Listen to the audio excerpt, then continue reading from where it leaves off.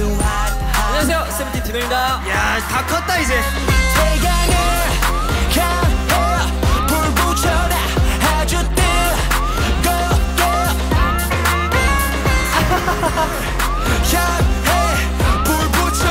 저는 그래요. 캐럿들한테 아쉬운 순간들을 주고 싶지 않다랄까?